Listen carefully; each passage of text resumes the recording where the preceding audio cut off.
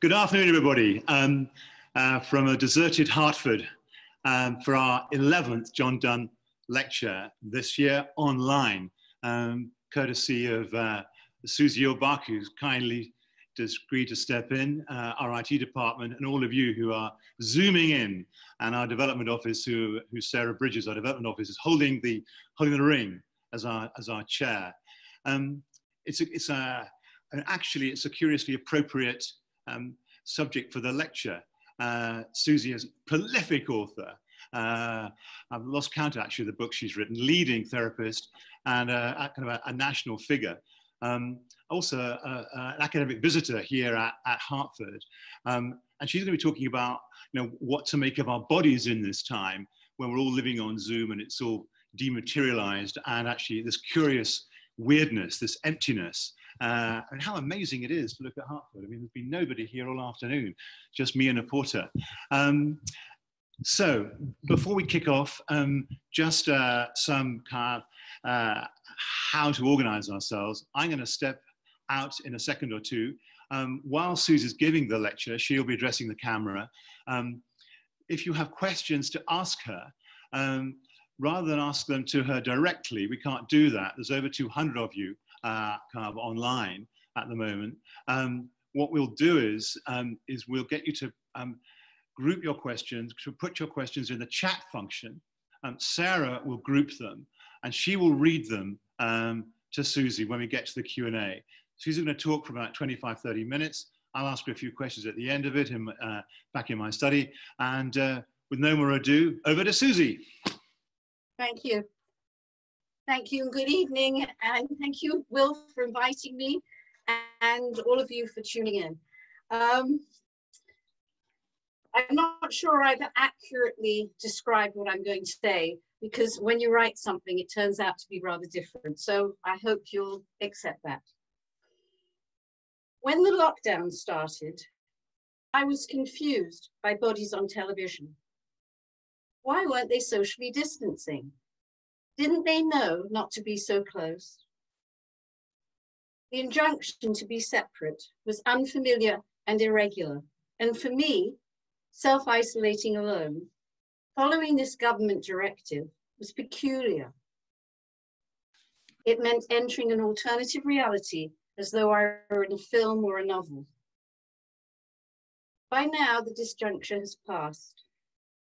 I, like all of us, are accommodating to multiple corporeal realities.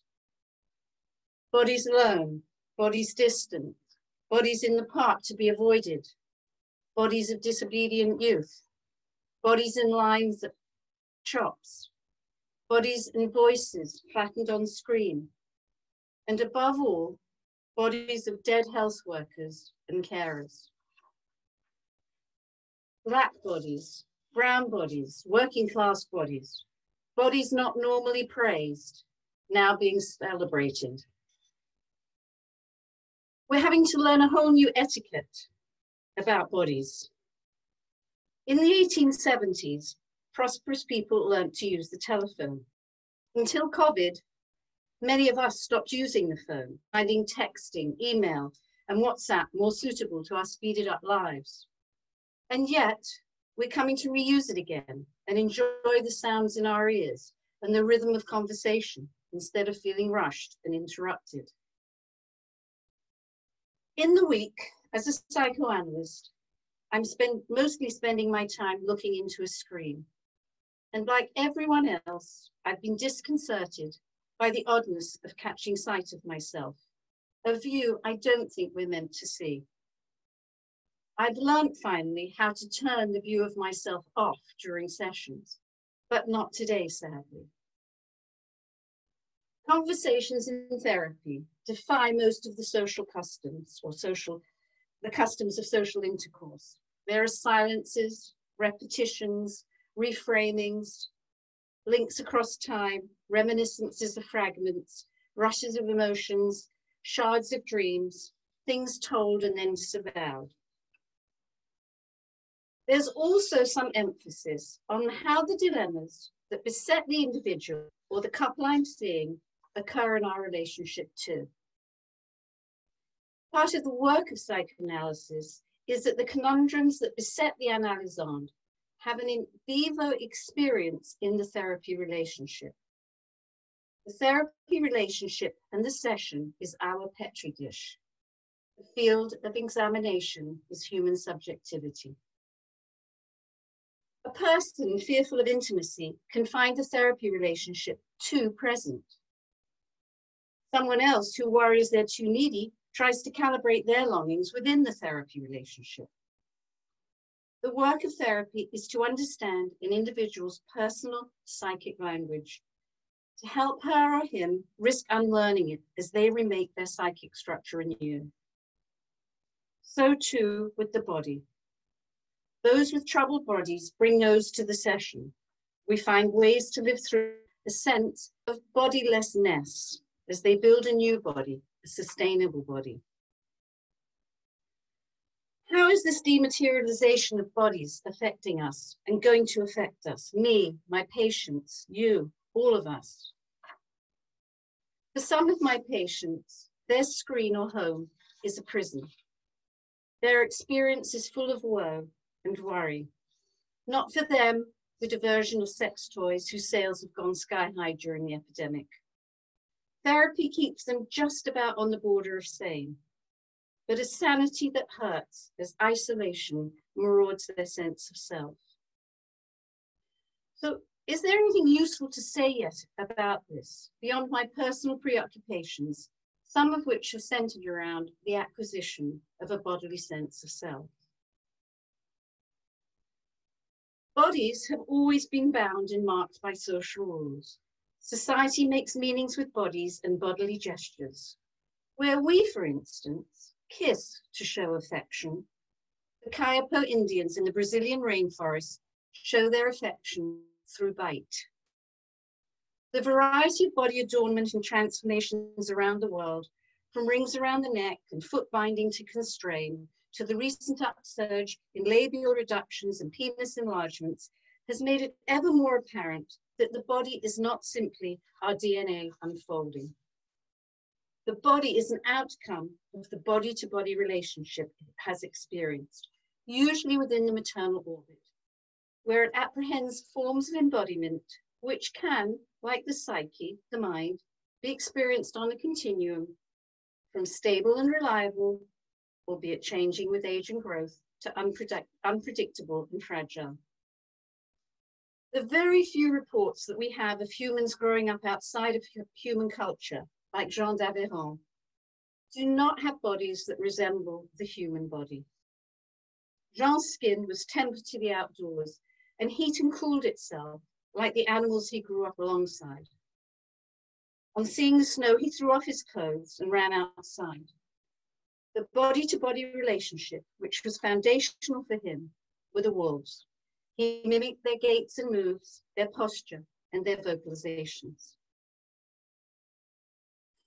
Late modernity threatens the wide variety of bodies, or perhaps I should say bodily expressions, from screens and billboards, the ubiquity of the digitized Western body predominates, and surgery to insert, to insert 10 centimeter rods to lengthen Chinese legs, refashion noses in Tehran, resculpt cheekbones, breasts, calves in the West, and jawbones in South Korea, is now an international business with cosmetic surgery tourism hubs in Hungary, Korea, and Singapore, which were thriving until the lockdown. The Chinese phone app developed by Meitu allows the selfie and portrait taker to adjust their picture to three different degrees of beauty, which are known as Internet Celebrity Face, Wang Hongliang. Five billion Wang Hongliang images are uploaded each month. There is a significant beauty market. The two richest Europeans are not techies, but body merchants. Bettencourt, who owns 30% of L'Oreal, and Ortega, who owns Zara and many other brands. The labored over body, the body we produce through our labor, our exercise regimes, clothing, cosmetic, food practices, predominates. While the sweating, smelling, holding, stroking body of the other becomes for some more distant, or in this moment of COVID-19, all too present. Close quarters with teenage boys as their smell changing is not relieved by their departure to school. All is on show for the, those in familial or housemate groups, while hidden for those living alone. The experience of the body lived on screen and the pulsing, breathing, weeping, sighing, sighing, tired, achy, or indeed springy and enthusiastic bodies we inhabit can be jarring. We no longer have social communion in the flesh. The handshake or hug, the pleasure of eating in a restaurant with a friend or a lover while seated near strangers.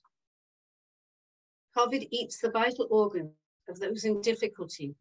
It warns us of its dangers as it collapses our social space. During the Second World War, René Spitz looked at orphan babies in care. He discovered that those closest to the nurse's station developed better than those at the end of the ward who failed to thrive. The difference was touch. The nurses would casually touch and interact with those infants closest to them, and this gave them the essential food for physical and psychological development. They absorbed the will to live. A decade later, in his now considered ethically controversial work in which he removed baby monkeys from their mothers, Harry Harlow discovered that baby monkeys only survived if they were given ersatz mothers in the form of cloth monkeys near warm lights to cling on to. Those babies left on a warm wire floor, fed but deprived of their mothers, became highly disturbed and many died.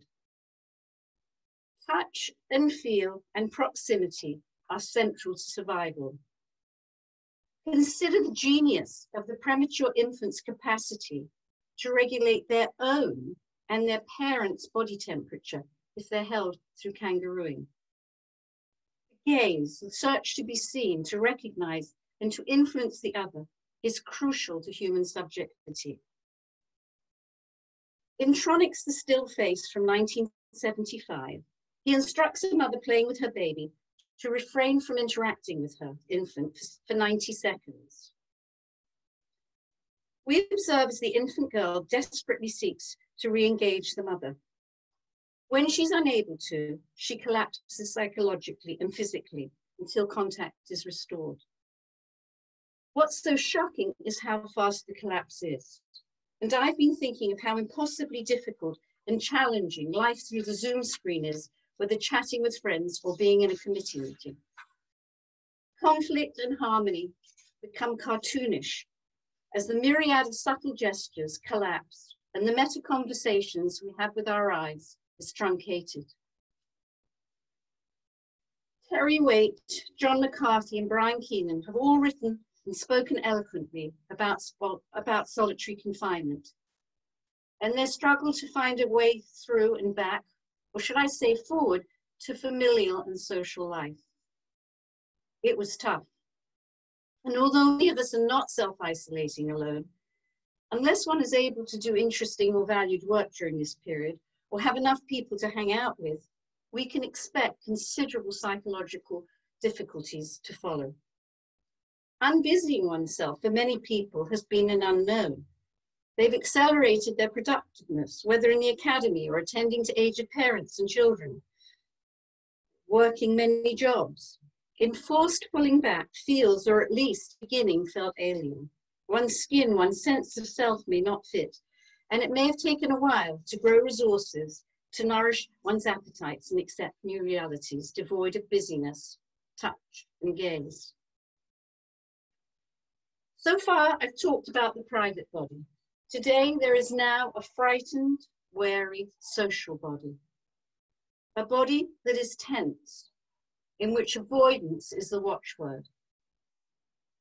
Where once the hoodie or the burqa might alarm, it now offers reassurance. Meanwhile, we admire whole new bodies, the bodies of working women. The Carers who go in and out of the houses and homes of the people they look after. We notice the vast numbers of raced bodies, particularly in the health service, who are finally recognized for their incredible value and the shockingly disproportionate number of their losses. We see the delivery men, transport workers, small shopkeepers, often first generation immigrants, the workers in food production and delivery. We see a different social landscape. Before COVID, the ruling party were happy to slash social and health funding, put money into management in the NHS and not into professional care as doctors and nurses. Now society is waking up to the value of care and medical expertise, which comes from the hospital floor. That's to say, doctors, doctors and nurses who are reorganizing what occurs there. The people who are keeping society going in every sector are not who we were led to think they were. The opportunity for rephrasing how we represent the social body, the body in society is changing. It is of necessity differently hued, and we must live with the shame of our previous marginalizing. COVID-19 is cleaning the lens so we can see more clearly. I've talked some about the individual body and how it's been challenged by COVID. I've also talked about the challenges to how we've seen the social body. I'd now like to talk about the corporate body, the body of state, and what we've been learning about how it's functioned.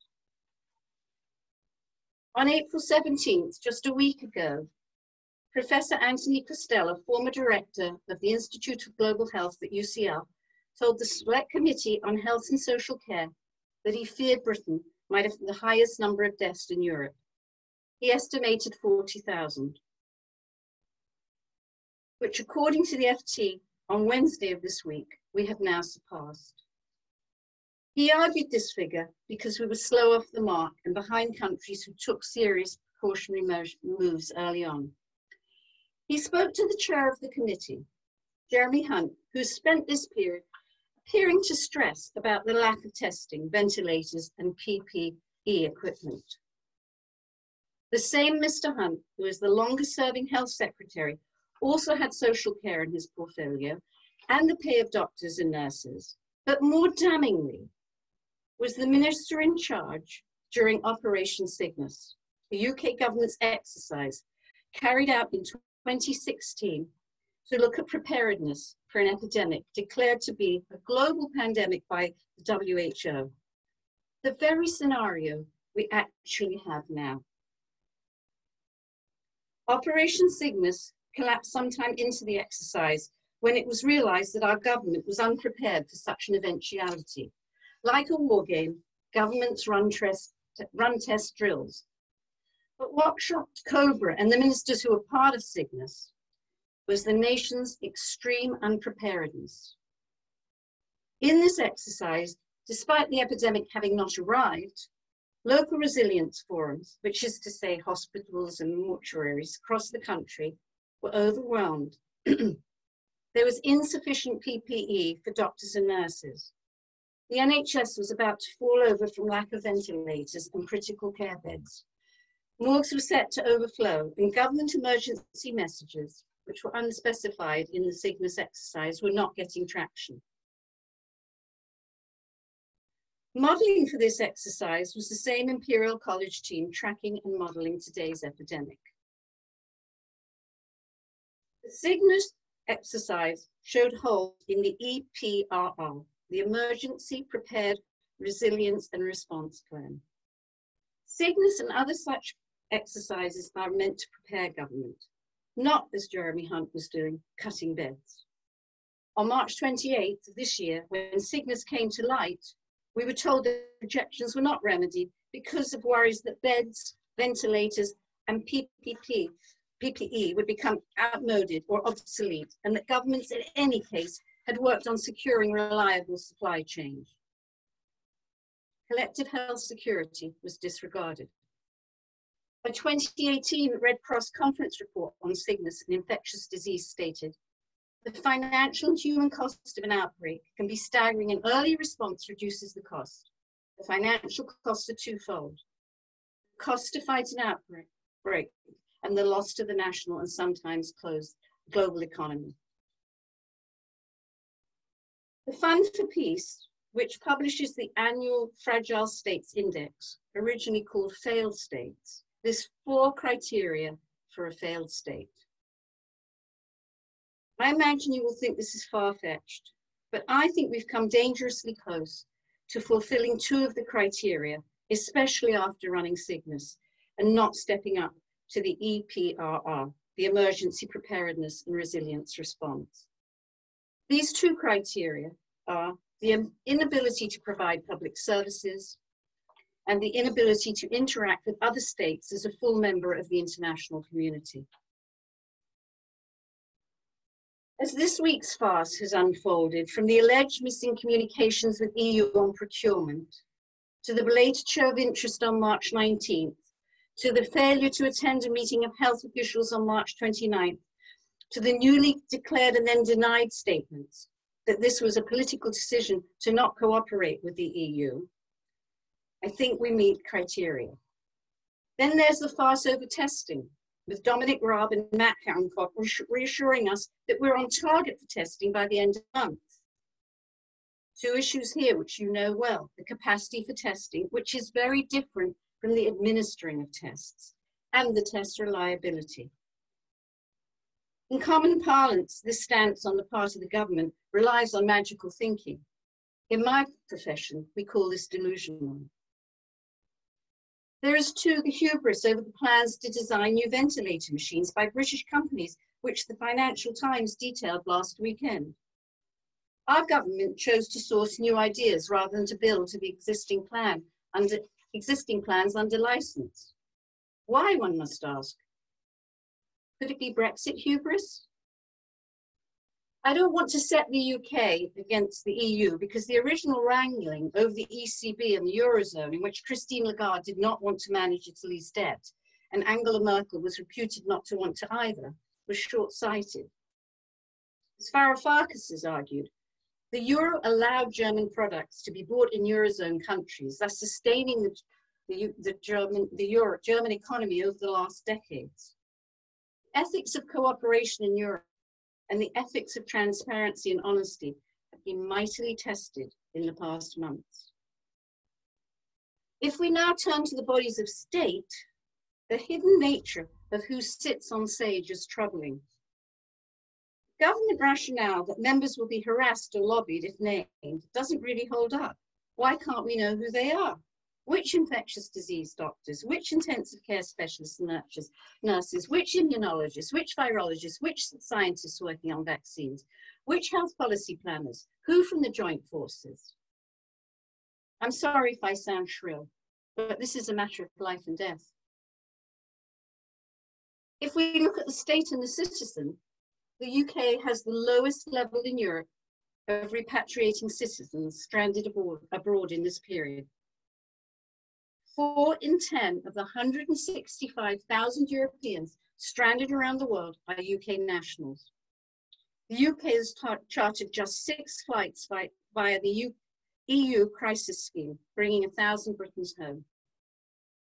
Germany, in comparison, has organized 1,010 such flights, repatriating nearly 22,000 citizens with Euro cash. Is this another example of ideology about 65,000 UK nationals are still in need of repatriation.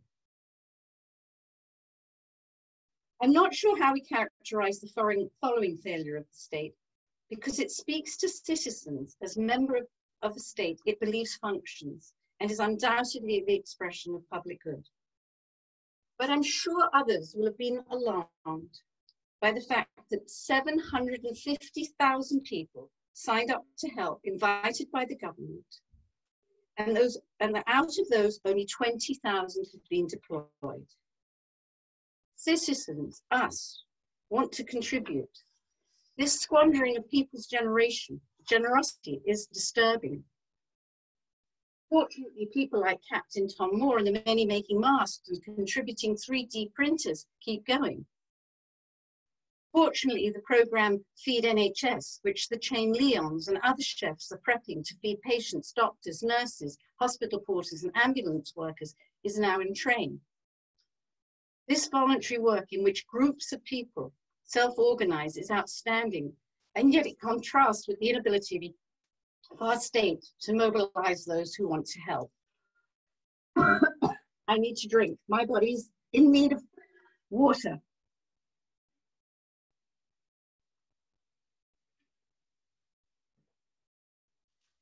Not in our country, but across the ocean. The contribution of the Gates Foundation to seven different vaccine programs, and Twitter's Jack Dorsey's contribution of several billion dollars, 28% of his income to the emergency, is impressive. the US, in the absence of a state that can be relied on, has always had a history of philanthropy. And I wonder whether the hedge funds in the UK, such as Ruffer Investment, which made 2.4 billion betting on market moves and pocketed a profit of 4,144% in March, or Somerset Capital, the hedge fund that used to involve Rees-Mogg, who state on their website that they see COVID as a once in a generation opportunity for investment, I presume, and who bought into two new stock positions. One, the Brazilian hospital operator Hapvida, and the other, the South African pharmacy chain Clicks. I wonder whether they will be contributing their obscene profits back to the state, or will their tax status protect their, yes, immoral earnings? Do we think it would be possible to persuade Ruffer and Somerset and the other 49 hedge funds with assets under management of at least a billion to plug the hole in the economy, underwrite extra pay for hospital workers? Not the managers who I see have already been granted or granted themselves a 30 to 50% overtime rate. Do we think the mood of the country could be such that hedge funders and managers could be persuaded to, to contribute to increased remuneration for carers, drivers, shop workers, the so-called unskilled who are too poor to be let into the country under current immigration rules? COVID is a sad story. It's also a story of resilience. The body of state has failed us. We need to grow up and recognize that. It really isn't good enough. It's not that the individuals are bad or inadequate, but we have systemic failure from the reduction in the status of civil servants to the downgrading of health workers to the racism microaggressions, the control of teachers in a managerial economy which is now being upturned in the hospitals, thank goodness, because of the necessity of doctors and nurses having to run the show. And to return to our bodies, the alive ones, now for so many devoid of touch and gaze, facing a long period of isolation and still frightened. How can I conclude? In a way, I can't conclude because we're far from the other side of this crisis. What I've understood is that the psychological therapies are going to have a huge part to play in the remaking of body and soul. I think that's what John Donne was thinking about himself. I'm not a personal fan of the word trauma because it's become so overused, but we are, in a, we are a society that is in trauma. To some extent, the societal trauma gives opportunities for people to go through, go through things together rather than suffer alone if we don't bury or make light of what we've been going through. We will have to find new ways to live with our fears and discomforts, with what we project onto other people's bodies and the fears we have about our own vulnerabilities. We will need all the help we can get in reshaping our relationship to ours and each other's bodies to find a way to build bonds of attachment and respect for all bodies. What started with the dematerialization of the individual body has now morphed into the dematerialization of the body of state. We should pay attention to the words of Joseph Stiglitz, who reminds us that with the stripping back of the state under Reagan and Thatcher, we lost capacity. This needs to be addressed. The cost to the exchequer of universal credit, underwriting 80% for companies, furloughing, etc., is so far in the region of 250 billion. According to the National Audit Office, the most conservative figure from the 2008 bank bailout was 850 billion. I think Will will correct me, this, this wasn't all spent in one go. But I found the NAO's report and Paul Johnson of the IFS's comments interesting. We're at crisis levels, but we've been there before. According to General Sir Richard Barrons, we're at 100% of GDP spend so far in this crisis. He says that in the war, we went to 250% of GDP. So we aren't broke yet. Again, I will need Will's comments on that. But Barrons was making this point to talk about the capacity in the system, and we should heed that. We began the makings of a very different kind of society after World War II. We will have to do that again with a new creativity, with the recognition of the contributions and the losses, particularly of our ethnic and working class people, and the problematic ways in which our governments have shamed themselves through creating divisions in society, particularly since austerity. The outpourings of artists, musicians, graphic designers, programmers, comics, cultural and scientific workers at all levels has been outstanding. The talent, the will, the desire is there to remake our world. The urgency is not in question. Globalism will need to be recast as mutuality, local and global mutuality. So we learn from each other, including those who've been locked down in war zones and other difficulties. Globalism can't just be a celebration of just-in-time deliveries.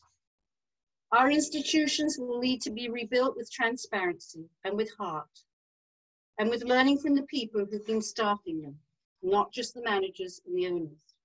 Doctors, nurses, carers, delivery people have things to say about how to run their institutions better. The body politics and the politics of the body that make up our world must be reconfigured and we need to start thinking about that now. I can conclude with Freud, as you might have expected. He wrote, the aim of psychoanalysis is to turn hysteria into ordinary human unhappiness, close quote. That is an accomplishment for an individual and for a society. We can't escape unhappiness. It's constitutive of being human just as our creativity, courage, ambition, attachment, and love. Let's embrace the complexity of what it means to be human in this time of sorrow as we think and feel our way through to come out of this wiser, humbler, more connected, and cleverer. Thank you very much.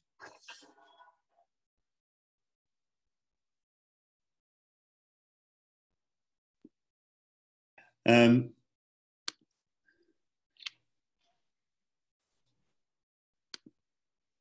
hello.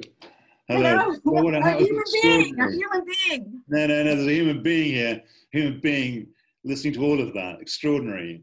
Um, what I what I didn't um, expect you to do, and which uh, you know is really intriguing, is to link um, the kind of personal trauma um, of uh, how we kind of relate to our bodies and one to another with actually kind of a jump across to um, uh, companies and then another jump across um, to to, um, to public bodies and what it, I mean I I mean uh, and while you were talking I had you know 101 thoughts I mean just to pick up on your challenge about the cost of this, and, uh, and, then, and then I want to come back to bodies.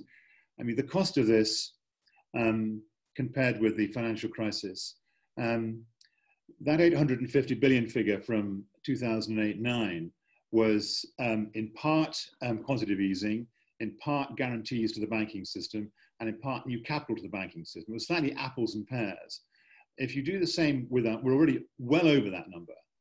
Um, the Bank of England has um, given 350 billion of quantitative easing and more. Um, the government is committed to a 330 billion business continuity um, loan package and more. Um, then there's the, the, direct fiscal impact, which is going to be the 250 billion you mentioned. We're already, we're already you know, through a trillion and heading north. I mean, it is um, one of the most profound, um, uh, one of the most profound um, economic crises I've ever lived through. Um, uh, and actually, I want to, and I've got two questions I want to put to you before throwing it open to others, um, because one of the things that's worrying a lot of people um, at the top of government, in, in us, the commentariat, you know, is actually the scarring effect of this. And actually, I'd be very interested to hear what your kind of reflections are on that. But before I get to that, I just want to kind of go to pick up um, your, the first remarks in your kind of remarkable lecture. Uh, and thanks, by the way, Susie.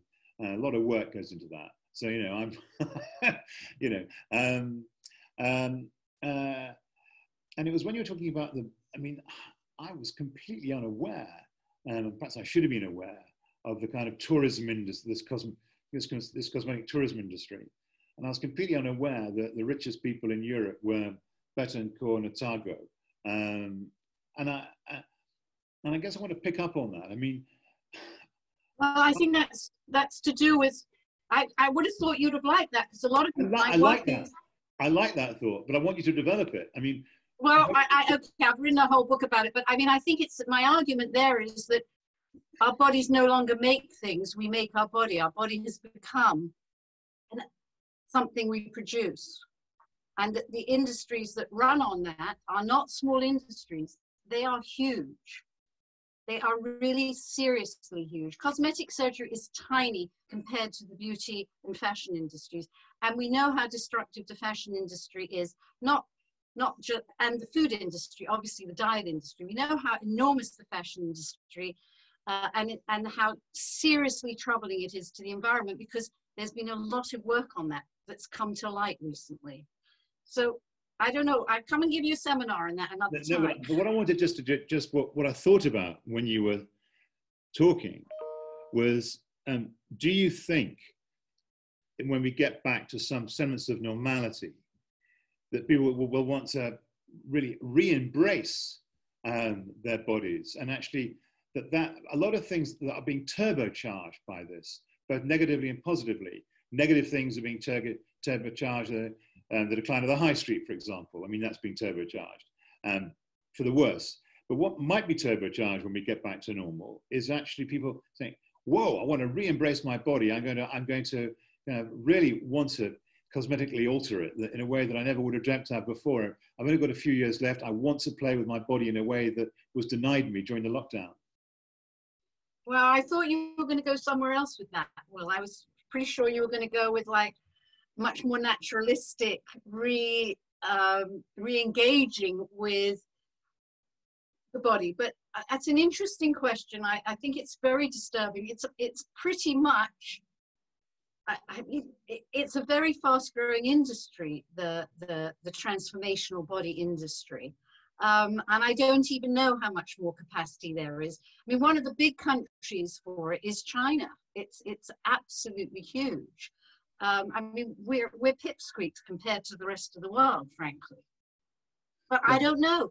I see. I, I suppose I was I was hoping you'd say, well, what kind of things do you think will happen that may allow people to feel that the body as a body is something that needs re-embracing? And I was then going to give you a whole rap about body activists, but no. you, well, no, I'm me. just, I'm just, I mean, I just, I mean, I'm, I went, I went, I went with the dark side. But take me to yeah, the you're right side. Take me to the, take me to the light side. I mean, it would be, I mean, I, it would be what, I mean, a, a lot of us are doing more exercise, taking, eating a bit less, taking care of our bodies in this period of Drinking. I mean, are we? I mean, is that a maybe that is a way it could go? Another way it could go. Yeah, I think that's been interesting. I think the way that it, this is a way it could go. I, I mean, I don't think disciplining the body is uh, is is the response either. I, I think we need a whole different kind of discussion about what it need, what forms of embodiment um, we can have. Um, and I'm not sure I can give you a, a, quick a quick answer on that. One another thing that occurred to me while you were talking, and I and I've been thinking about this quite a lot, um, uh, is whether you think um, because what's been very striking is the public support for the lockdown. Um, very, very high public support for the lockdown. People really, uh, uh, and young people, you know, who are less, who are less at risk, you know, really wanting to stand shoulder to shoulder with their elder peers. Um, and there's, but we're going to have to live with more risk if we're going to get back to normality. I think. I mean, will there okay. be contact? There'll be contact tracing. There'll be vaccines, but actually there'll be more risk. Um, if it, and if we don't accept more risk, um, we're not going to get back to any kind of normal life. Are we ready to do that as a society? Well, I, have been really noticing, and I, I, I wonder what other people think about this about the fact that this week we've seen such a huge push and so many different voices, some from the backbenchers and some from columnists, about how we have to get back to normal life. This isn't, we can't keep doing this. This is not okay. And what are the, what are the plans for coming out of lockdown? All of which sound eminently um, important. I, I, I, do, I do understand that. But I also wonder why those are coming up exactly right now. I wonder whether there isn't a different agenda when people are talking, they're not really talking mental health, they're talking economy. And part of me wonders about that issue is that what is driving this get back? Is it, is it, is it that people are so scared of the economy or, or what, what do you think it is? Oh, I mean, I know I, I accept your question, which I haven't answered. I think we will have to accept risk. Life is risk. And it, it will be very interesting to look at different countries and how they've managed risk. If you count furloughed workers, by the end of June, Britain's unemployment level will be 6 million. Uh, if you count furloughed workers as unemployed, which you really should do. Um, if um, the recovery, um, if, if, there isn't a snapback um, to um, you know, relatively normal levels of economic activity um, in the second half of the year, unemployment will carry on rising. I mean, I've seen numbers, if you include furloughed workers, you know, as high as seven, eight, nine million. Um, and you can also kind of, and this is, this is happening, by the way, internationally. I mean, you know, the numbers yeah, in yeah. The, and the numbers in the States are just as worrying. I mean, you know, more than 30 million people claiming unemployment benefit in the States. I mean, wow. I mean, these are figures that surpass and what we saw in 1931. Yeah, um, okay, well, but what about, isn't this an opportunity for thinking about how to redistribute labor? I mean, I'm somebody who comes from second wave feminism. My generation fought very hard to have parental leave, to have sh shorter working hours, to have a family life, to have domestic labor shared, to have contributions to public space shared. And it could never be done under the conditions of turbocharged late capital. It just couldn't. No, no, so no. yes, of course, of course, we we have an, uh, the reconfiguring of labor that needs to be put on the agenda. A, what the hell we're going to be making, and B, who's going to do that work and how it's going to be parceled out. But I don't think we should be thinking about old economic models. There's been a lot of work. I know you know all of this work on a social on, on giving people not just a living wage, but on making something rather different about how people make contributions in society and how they have economic security, even if it's at a lower level. Yeah, I mean, I'm, i mean, my last question before we throw it open to the uh, to the questions that I see we're really going to mount up now. I mean, um, uh, it's about the new normal. I mean, I have an idea about what I think the new normal um, will look like. I mean, I, I mean, uh, you know, I've been you know, championing stakeholder capitalism for the last 25 years. I know. I mean, I'm, I'm, um, and I intend to put my shoulder to the wheel in actually trying to make that happen. Um, and there's a there's growing acceptance, I think, by a lot of companies that that's going to be the direction of travel. We've got to we've got to reframe, I think, uh, the, the the entire deal for um, 16 to 35 year olds. I really, for example, I think they're asking people to take the amount of student debt into an economy which is going to be as depressed as the economy is likely to be over the next five, six, seven years is really, it's, it's, an, it's an ask too far now. So we have to reframe the settlement for our 18 to 35 year olds. And then there's all the points you raised in your lecture. I mean, and what I suppose I, I, I would love, and I, am reaching for it and I can't quite um, get the words right, but there, there was without doubt a connection between, you know, what we're all thinking and the sense we're trying to make of this lockdown and our approach to risk and our, and our solidaristic feelings towards one another and actually how that will you know, help to be the culture that constructs this new order that I think is emerging. I mean, do you see that? And, and how do you think it'll pan out? I think we've had a lot of very frightened people before COVID. I think people frightened about losing their jobs, working too many jobs. I think whether that's been at the level of people on three or four different jobs because they can't make ends meet, or even academics who are under extreme pressure, or doctors. I mean, there's so many people who've been working as though we're in a very frightening place all the time. And part of what, for some of us, this, this has done is to allow us to rethink a little bit about priorities and time. But I do think it is an opportunity to really think about what jobs need doing and how we're going to share them, Will. I think if you're thinking about restructuring the state and restructuring work, which is your topic, part of that has to be redistribution of work. We don't have, we, we lost 10,000 nurses. There, we need not to charge them for training. I mean, we need to have more nurses. We need to have more people being supported in the arts. We need, we need the things that make it possible to live in a society rather than feel frightened in society. So we got, we've got a new fright, which is COVID. But we were already a very frightened society, out of which was born div divisiveness and a lot of hatred in the last few years. You've also got a very frightened cabinet. I mean, they were elected, uh, uh, uh, uh, the, the Conservative cabinet were elected to implement Brexit. And you know, the amount of cognitive dissonance, the amount of psychic stress that these guys, when these men were under, because suddenly they find themselves, it's logistics, it's procurement, it's public service delivery, it's manufacturing, it's resilience.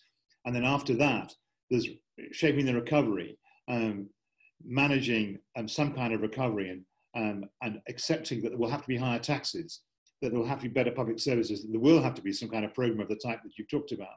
And they're not stupid and they can see it. And yet, you know, all their thought categories are kind of locked into a kind of um, 2019 world in which you were fighting for Brexit. You know, and they, and I mean, that. I mean, you're a therapist. I mean, these these people. I mean, I, I sometimes see. Yeah, but if you're a therapist, you one thinks of that as a kind of splitting category.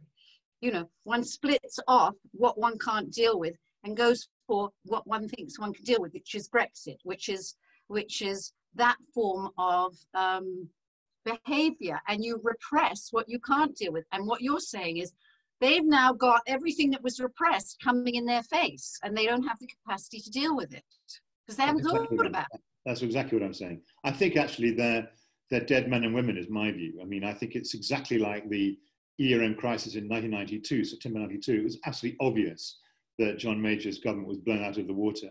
And I think it's actually obvious that Johnson's government is blown out of the water. Um, I think it's a very yeah. plan. Anyway, look, there's lots and lots of there's lots of cute, lots of questions. I can see that, and I, am hoping that Sarah has grouped them for you. Um, well, okay, it doesn't matter. close me down, but I will say goodbye to you at the very end, and I'll be listening okay. in. Okay? okay. More questions coming to you. Hi there, Susie. Can you hear me? Yes, I can. Hello. Um, one minute. I'll just try and bring on my video. There we go. Um, Will, do you want to stick around for this, or um, would Sorry? you like me to take off your video? I think I think it's distracting. I'll take off my video, but I will be sure. listening. Okay. Okay, all right. Um, so yeah, as Will said, I've tried to group them into uh, personal body, social body, and uh, governmental body. Um, that was when the talk was going on. I think a few more questions seem to be coming in as we go. So I'll start with the first few grouped, and then we might just okay. have to go around a bit. Um, I'd so, just like to say my body is so hot because I had to find a room in which there'd be, would be no sunlight and, and which wouldn't make the echo. And I'm now very, very hot, so I'm just drinking lots of water. well, you're doing a fantastic job, and the talk was fantastic. Thank you so much. We, um, I know in the development office, we've all been really enjoying it. Um, so uh, on the personal body, we'll start with. Um, so the first question is from uh, Christopher Wallen what happens when we come out of lockdown but into a new socially distanced normal? Will the impact of not being able to hug or be close to each other in person be worse than having to communicate through a screen? It's such a good question, isn't it? Because I think we don't know. I think we will, we will discover that and then we'll have to think and theorize it and find ways of managing it. I, I think it's a great question. Um, and I'm sure we'll break it. I don't think we'll be able to manage it, frankly, because we'll be back in our different life and we will be wanting to make that we'll be wanting to touch because gesture and touch are so critical. And I don't think we can do it all with eyes. I totally agree. Yeah. I'm no psychoanalyst, but yeah, um, I don't think you, I don't think you need to be one to answer that. Uh, so the next question is from Olga. Um, do you think the new norms of social distancing and lack of physical interaction will stay with us beyond the time when COVID-19 is no longer a danger? And will our habits return back to normal or have we already adopted new ways of social interaction for the future? I think it really depends how long we're locked down or which groups are locked down. I think we're going to be very uptight for a while. And uh, we're going to be nervous. And unless we talk about it and address it and find ways of making jokes about it, just like people have created most incredible, um, wonderful jokes and, and videos now, I think we'll have to do that kind of thing in order to socialize what's actually happening to each of us individually. Mm-hmm. People coming out of uh, war trauma, and particularly when rape was used as a weapon of war who were not able to talk about it really suffered much more than when you could provoke conversations about that as a weapon of war. So, and the adjustment that you have to make. So I know that's a very extreme example, but we do know talking helps. Mm-hmm. Um, we got one from uh, Monique here. What does Susie think about the cult of productivity in the midst of the uh, pandemic, i.e., the idea that we should be writing novels, etc., during our extra time? I can really sympathise with that one. yeah, I, I, I think there have been so many different responses. One of my friends um, took up painting, learned a new language, and, um, and she's very productive anyway. Whereas for, for a lot of us, I don't think we found it so exhausting to deal with the new reality that time just evaporated.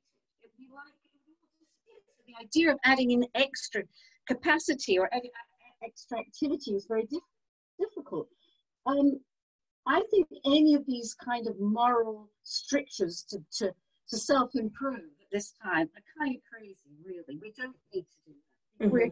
If we find that we have the desire, then maybe we should how we can allow that rather than interrupt it. But I don't think we need a whole set of rules um, beyond trying. I think it's probably worth getting dressed. and that is a, a reasonably good thing to do, and it's probably worth getting some fresh air, and it's probably worth talking to people. But apart from that, I don't. I don't think having to be super productive is an answer for everybody that's probably reassuring for everyone to hear. Um, on the flip side of that, there's an interesting question from Eloise here. Do you think that there'll be a new appreciation for stillness in the new norm and new role for it in the future economy? I think that's a fabulous wish. It's it's for some people, well, for so many people, the capacity to reflect. People taking up yoga or meditation or drawing, whatever it is, something that is of a different nature, I think is, or cooking, because a lot of people don't, don't chop vegetables. I, I think that stillness and that different relation, it would be terrible for people to lose that. That's partly why I think we have to redistribute work again. So because don't, otherwise we're going to be backing the over, overworkers and the people who don't have enough to do in, instead of take advantage of what we've actually been offered. And, and we've had such magnificent weather that I think it's helped the stillness is, issue actually.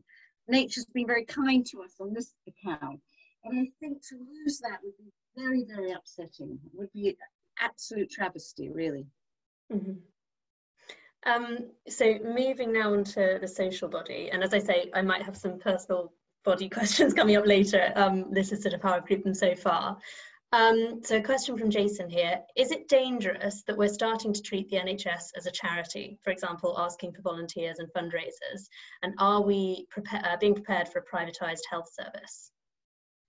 Well, I think we've been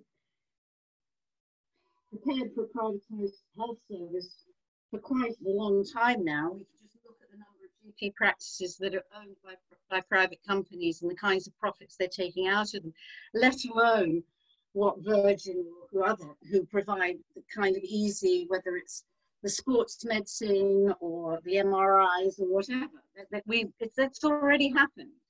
And uh, that's more worrying to me than the charity which I think speaks to people's wish to make a contribution. Although I grew up in the kind of household that thought charity was a way of avoiding what actually were the responsibilities of, of government. So I understand that argument.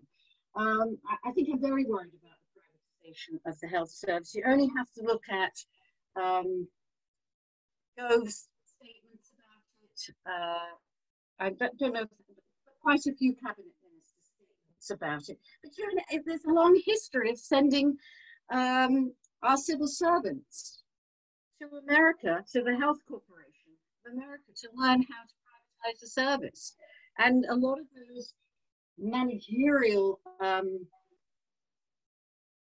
interventions have actually taken away a lot of the power from health workers. And yes, I'm very, very deeply worried about it. We need to fight about that. We really, really need to fight about it. Mm. And sort of on, on the same vein, um, a question from Sarah here. Will the social attitudes really change so as to value of key workers, um, i.e. will we pay them properly, resource them properly, etc. Fundamentally, will we have to pay more in taxes, supermarket prices and so on? Won't we just forget and go back to normal um, as capitalism starts to operate normally again? Or will the capitalist system be fundamentally changed so as to correct this? And here's even you and I... Being here's the thing about being a psychoanalyst. You look in the past.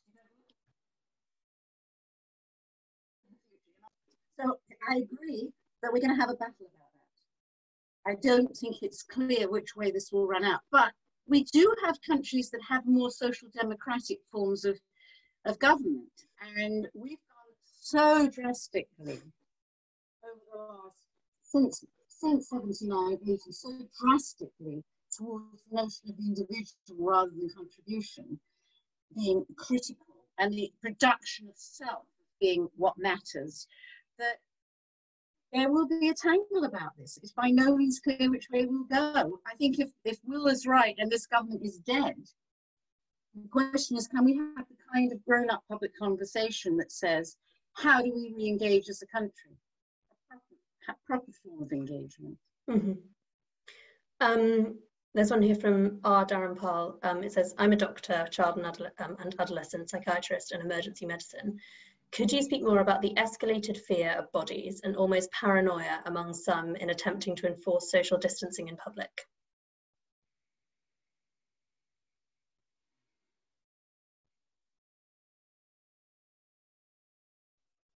It's a really interesting question because are we is what's joining up there our own body instability with which which has been created since we've made bodies a, a place of work, so to speak, and of, of decoration in this extreme way that I was mentioning. So on the one hand, is, is it that joining up with other bodies as being dangerous? So got our own bodies are dangerous, and we've got other bodies being dangerous. How are we going to change the narrative and the feeling that bodies are both good and bad, that they are not one thing or the other. They have both incredible strengths, but they also have vulnerabilities. And I think it's a it's a much bigger question about vulnerability in general that you're raising that we have never sanctioned in our society, and we certainly don't sanction in relation to bodies. We either hate the bodies that we don't like, whether they're our own or the bodies that society has said not nice kind of bodies, but we don't actually recognize the body as having its own vulnerabilities mm. and its own needs and its own strengths as a result. So I think that's the kind of conversation I'd want to be having with young people and with older people. Okay, um, so we're now going to move on to governmental body. So a few more political questions here. Um, so first of all, this is from uh, an anonymous attendee. Do you think the British response to COVID-19 would have been better uh, should we have remained in the EU?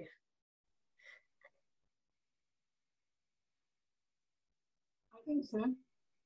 I do think so, yes, because I, I think this is where Gordon Brown was absolutely right about the financial crisis. You need an international body in concert. And we were part of an international body with all its incredible flaws. So to be out on the margins and to kind of be headless at this particular moment, even though we're actually still in it for another minute or two, it, it seems quite crazy. And that's why it's so confusing about what's happened in terms of the, the, the, inability to join procurements. And I think there are examples within Europe and different choices that we could have been considering in a different way. So yes, I think the lack of uh, mutual conversation about different approaches was very damaging. And another interesting one, um, so Catherine asks, Susie, leaving aside general incompetence and stupidity, are there other are there useful ways of understanding the failures of the UK government in a psychoanalytical sense beyond categorizing them as delusional? In the US context, it seems easier to recognize in Trump and, for instance, the governor of the state of Georgia, a willed refusal or inability to confront the problem of the pain of others. Do you see this in play in this country too? Actually, I don't. I don't think there's been a refusal to see the pain of others. I, that that hasn't. But I, what was the question? I do think there's been a lot of stupidity. Yes, um, but from a psychoanalytic perspective, I think there's a lot of repression, a lot of not not, not have, being absolutely ignorant because it's been possible not to know about other people. And that eventually gets solidified as a form of, of not knowing and repression, or we've been living in silos. One of, one of the collapses of social democracy and um, the emergence of um, culture played on through screens is that we've lived in silos. And that's been true for governments as well. So that we, we've disregarded all sorts of opinions and people. And, and yes, I think it is very, that kind of splitting mechanism is something that psychoanalysis is very, very familiar with. Somebody comes in and they says, they say, I'm this kind of person, or, and they're that kind of person. But the whole job of psychoanalysis is to to know the parts of you that you disavow, that are complicated, that you don't like so much, that you have vested in other people, and to find a way of managing complexity. I mean, I've always um, thought that we've needed analysts to, to sit on government bodies, not to explain what, not psychoanalyze ministers, but to understand why people do things that are not in their own best interests, mm. what it is that makes people mess up. Because people are doing something they think is in their own interests or not in their own interests for very substantial reasons. But those are often unconscious processes, which, if we understood, we could help much better. Like, for example, why women go back, battered women go back to, to unfortunate and terrible relationships. They do it because they think they can make them better. They don't do it because they're idiots. They, do it as a form of agency, for example. I'm being very, very quick in my explanation. Mm. So I think psychoanalysis has a, a role to play within government, very substantial role actually, because it's a very different form of research about, and it understands people in the process of change. Mm. And I think that's something we're, we're really seeing now. Um, so this is quite a long one, but it's an interesting uh, question here, um, again from uh, anonymous attendee. As someone who lives in Greece and has volunteered with the refugee population, I can see how, especially once the lockdown eases, the pandemic will be used to increase the sense of otherness of refugees. They will have the increased infection rates relative to the general population since they're cooped up in camps and necessarily, uh, and necessarily cannot observe lockdown like the rest of us. How do we tread the line between advocating for embracing everyone's right to embodiment and being and right to be in the face of perceived and potentially actual increased risk of contagion? E.g., if I see someone of my refugee clients, I may be perceived as taking undue risk and have to go into self isolation again and not back to my own work.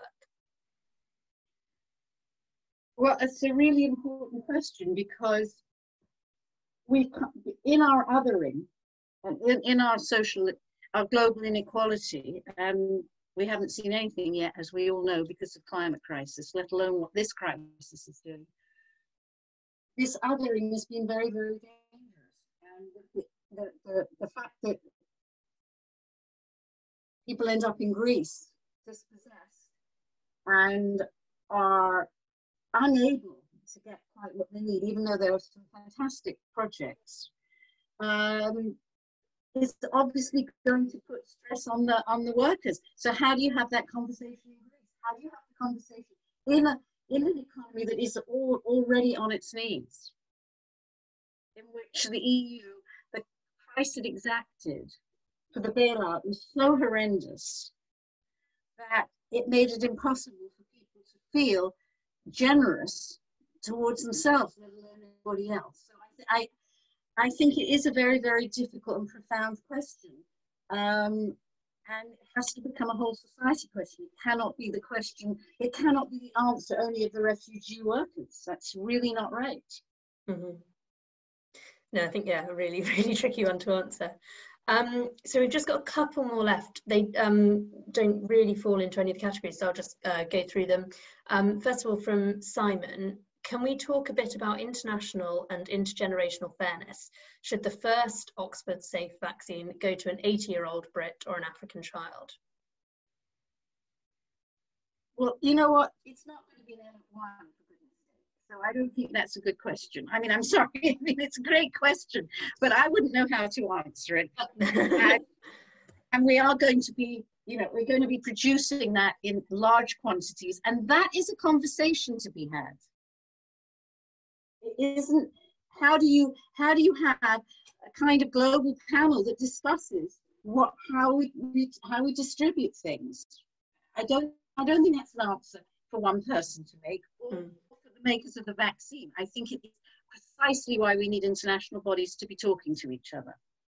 I think it's certainly going to be a difficult question for whoever does have to answer it. Um, so a question from Amelia here. Um, thank you. well, I think if you had the 80-year-old and the African, what was who was the, what was the other example? Uh, those sorry, an African child or an 80-year-old Brit. Right. So if you had them plus everybody else, I mean, a lot of other representatives talking about it, I think you get a very different answer than what you expect. Mm-hmm. Um, so yes, Amelia says, uh, thank you for the fascinating lecture. Please can you return to one of your earlier points about the impact of taking the therapy space online? What has been your experience of interacting with patients outside the therapy room? Well, I haven't been interacting with them outside the therapy room. I, I do my Zoom sessions inside my therapy room. I sit in my chair and they have exactly the same view of me um, uh, as I do. What's been different is we had to learn how to do it. Um, as I said, the most important thing for me was to turn myself off so that I was actually not distracted at all. Um, and the second aspect was to be able to allow people to look away from the screen themselves, just as they just as they do in, in therapy. Uh, for some people, it's made the work really, it's deepened it. And for some people, they've, they've, there's a bit of chat at the beginning about how okay I am, as well as how okay they are at the kind of conversational level. But otherwise, it's been, it's been therapy as usual. It's kind of interesting seeing people, people's houses where they're living and and the fact they've got to keep children out of the room or or whatever. So for them, for me, it's very different to see them in their surroundings. But I don't know how different it is for them to see me on screen. Mm, I definitely agree. I think seeing people's houses being one of the weirdest things about all of this. Um, so we've just got two questions left. Um, so uh, first of all, from Sophia, um, yeah. even though I will. Hi. Um, should I just finish up the last couple of questions? Um, even though we don't have an easy language for emotional life, what diction do you think we will use after the pandemic ends? You mean there'll be a post post pandemic NW 17 dialect? Is that what they mean? Is that what the question means? I, think, I don't yeah. know. I think in, in what way will, um, yeah, I suppose our language, our communication change? I don't know, but it would be it's a very good opportunity for a bit, bit of emotional literacy. I mean, we learn the ABCs, but we have not learned the words for our feelings very well. We mm-hmm. either thousands of words. Poets can do it, writers can do it, musicians can do it. We really need to, people can paint it. We really need to have the words, many different words that might express sorrow, grief, sadness, dismay, upset, fear, all be, we need the thesaurus in order to express the subtlety of what we're feeling. To be able to hear what other people are feeling. Um, and then last question uh, here from Nicholas. I think this is a nice one to end on. Um, you've talked a lot about bodies and economics and politics. What about two other elements of human society, community and spirituality? Uh. Yeah, I, I mean, I think I wasn't meaning to exclude community because I think what I was feeling hurt about is that we are one big community, but we're also excluded from feeling part of it at the same time. I mean, I think it's that's why we're all watching, some of us are watching the news or trying to watch the same kind of um,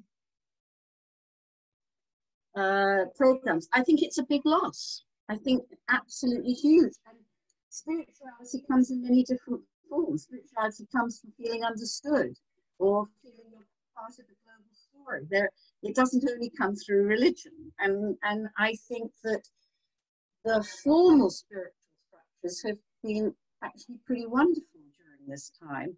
And then the informal ones, like meditation or newer forms, have also taken up huge amounts of bandwidth on YouTube, which has been really interesting.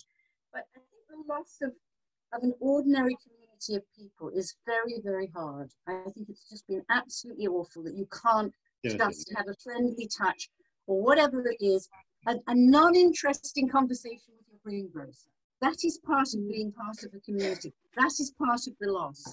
And I'm really looking forward to this. Again, if I'm ever allowed out, I don't think I will because I'm in the wrong age group. But if I ever am allowed out, that's what I want to have is a few superficial conversations. Thank you so much, Susie. Um, I'm sorry to anyone if, if your question hasn't been answered. Um, I think I've got through all of them. Uh, and I'll, I'll head off now and I'll hand over to Will. Um, and yeah, you two can wrap up. Well, no, I'm. Um, um, am I? Can you hear me? Yeah. Yeah. you Look, Susie. Um, first of all, I mean a big thank you. I mean, I, uh, you know, both for preparing the, the, lecture, which is, you know, that was a big lecture and it took covered a lot of ground, and you did a lot of spade work. So thank you for that. But also thank you uh, for a couple more things actually, which I, you know, I've, I've known you a long time, but. Um, you know, you're, you're, what I love about you is intellectual bravery. You know, I mean, you just, you just call it as you see it. And if you don't know the answer, if you think it's the wrong question, you tell somebody um, and stand your ground. Um, I like that a lot. It's really, it's really uh, admirable. And you, and you make connections there uh, that actually, um, you make connections. Um, and I, I, know your books do all of that, but I mean, you did it um, for us this afternoon.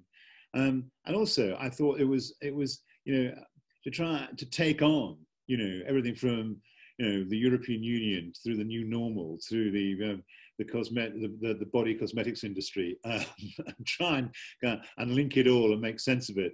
Um, you know, very stimulating, very interesting. So, look, a big thank you. Um, and actually, I thought I thought your last remark about the stillness, or the penultimate remarks about the stillness, really struck home. Um, I am going to um, now go and have a glass of wine in the quad um, and enjoy the stillness. I hope you enjoy the stillness where you are. But thank you very much. And thank you also, everybody, um, for zooming in on our, um, uh, what I hope will be, um, given all that Susie's said, our last, uh, our first and last Zoom John Donne lecture. Thank you very much, Susie. Thank you. And thank you very, very much for inviting me too. Thank you. Okay. And thank you to the development office. and to all of you for coming. Yeah, thank you. Thank you, development team. Thank you, you know, thank you for your skills in, uh, in, in, kind of putting it together and your skill, and also the IT team have been on hand as well. Okay, it's time we can end, I think. Um, okay, we can have our wine now. We can have our wine now. Okay, cheers. Bye. Okay. Cheers. All right. Bye.